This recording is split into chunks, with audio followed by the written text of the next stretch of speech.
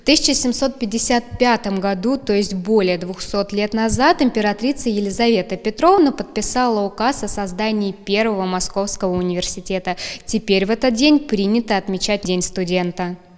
Праздник стал всероссийским уже при императоре Николае I. Именно он обозначил дату 25 января днем высших учебных заведений страны. А вот наименование Татьянин день праздник получил в честь святой мученицы Татьяны Крещенской.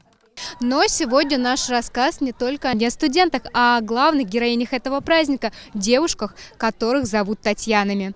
Две подруги-тезки, студентки одного факультета по специальности технолог мяса и мясной продукции Щелковского колледжа. Умницы, красавицы, у каждой из них своя история выбора дела всей жизни. Первая наша героиня пошла по стопам отца, который в свое время также учился на технолога мяса в учебном заведении, в котором теперь обучается его дочь. Для Тани приготовление еды – дело семейное. Она мечтает в будущем стать шеф-поваром, для этого прилежно учится, постигает все тонкости кулинарного искусства и с улыбкой признается, что помимо мясных блюд очень любит выпечку.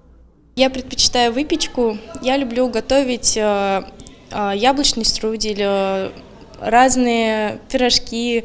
Но мне это, мне это получается. Вместе с отцом мы готовим, он меня учит, и здесь, я думаю, тоже получу много навыков.